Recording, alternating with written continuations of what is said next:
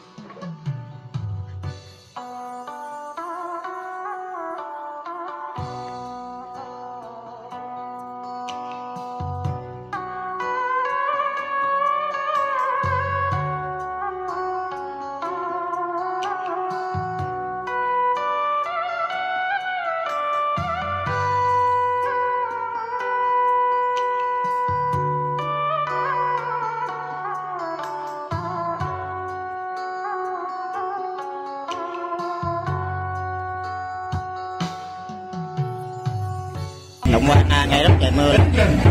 Đây là đậu tì ở phi thông à.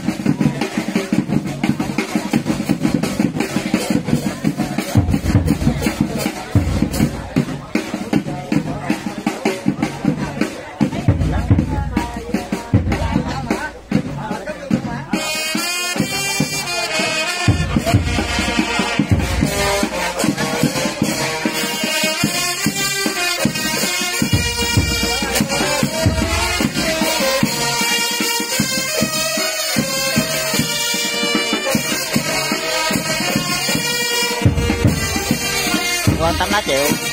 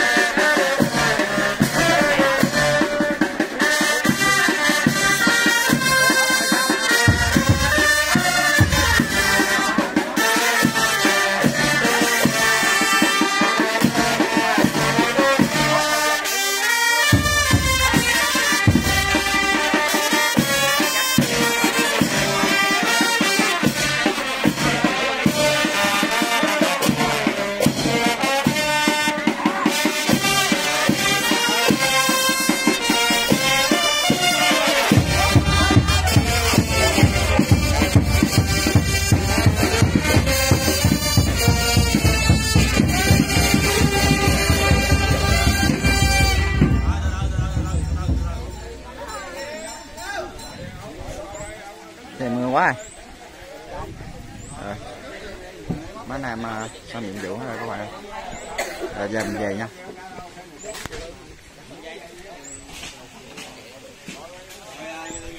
Có vòng nó vô rồi